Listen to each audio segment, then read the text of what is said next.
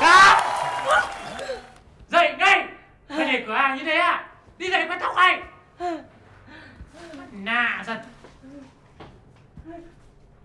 Quét hẳn anh em!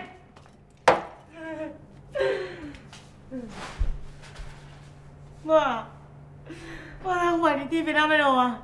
Chán đấy